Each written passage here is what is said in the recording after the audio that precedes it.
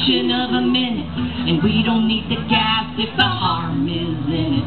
The fracking's insane. And in our world of greedy eyes, the